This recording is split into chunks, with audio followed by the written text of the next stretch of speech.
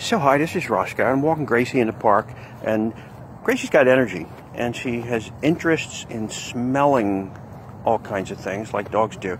And so I had the idea to get her a part-time job with the police as a police dog, you know, because she, she's always getting on the trail of stuff, you know, walking around here. And uh, but the thing is, when we finally get to whatever she's smelling, what she's after, you know, all excited about, it's always some other dog's poops, you know. It's not drugs or you know the kind of stuff that uh, bodies, you know, the sort of stuff that uh, the police are generally interested in.